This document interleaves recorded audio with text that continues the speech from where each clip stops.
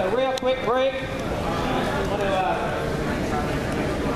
Oh, hold on a second.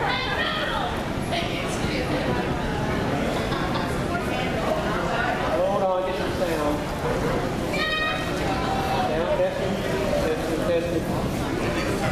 There we go.